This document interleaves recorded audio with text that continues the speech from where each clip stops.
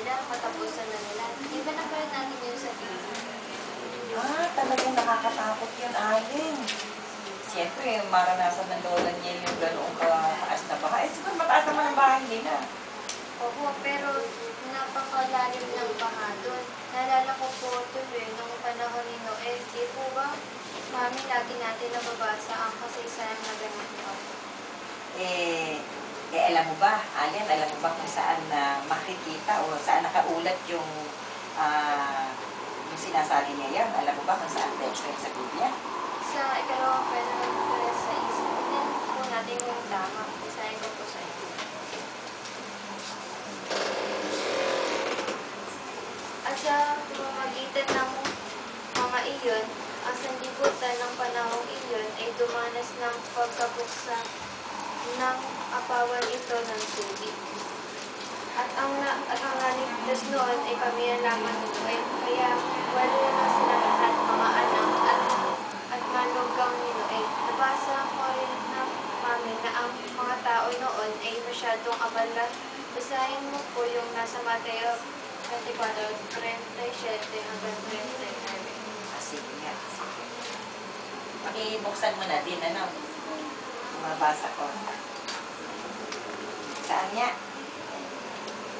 24, 37 hanggang 39. Sapagkat kung paano ang mga araw ni Noe, maging gayon ang pagkanarito ng anak ng tao. Sapagkat gaya nila noong mga araw na iyon, bago ang baha na kumakain at umiinom. Ang mga lalaki ay nag-aasawa at ang mga babae ay inibigay sa pag-aasawa hanggang sa araw na pumasok si Noe sa arka. At hindi sila nagbigay pansin hanggang sa dumating ang baha at tinangay silang lahat. Nagiging gayon ang pagkanarito ng anak ng tao. Sabing nag-aasawa, nagkakainan, nagiinuman, lalo pa ngayon, may computer, may cellphone, may TV.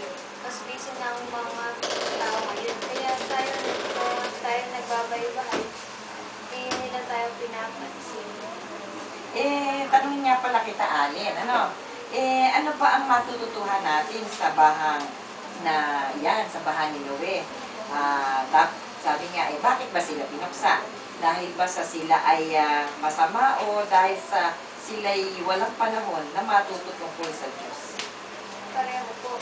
Pero sabi po ng Diyos na Yehova, di na niya lilipulin ang tao sa pamamagitan ng tubig.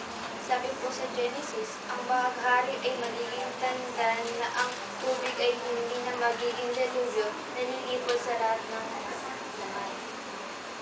Aba, Alin, mukhang ah, kabisado-kabisado mo yata yan.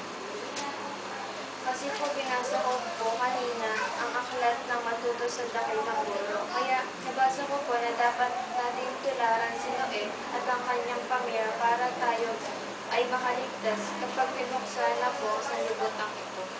Yan. O sige, Alin, ha, handang-handa ka na para sumama tayo sa paglilingkuran sa inyo.